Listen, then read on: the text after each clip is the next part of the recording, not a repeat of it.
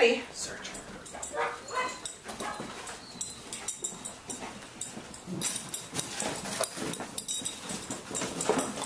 Yes, good job. Nice work, Taylor. She's like so happy. There was the teeniest, tiniest, teeniest, tiniest cookie on there. Really? Yes. oh yeah, some of those are really tiny that I cut up I mean, it was little itty bitty. Because I was doing clicker with them today, and so I cut those things up tiny, and then I was like, oh, I need some for nose work. Oh well. Yeah, I'm gonna make the next one for Isabel just really, I'm gonna really little.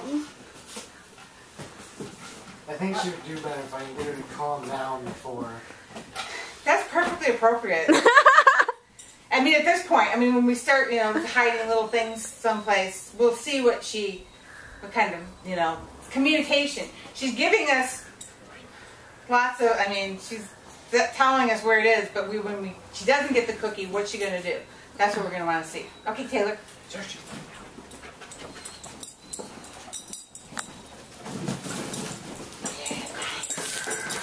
All right.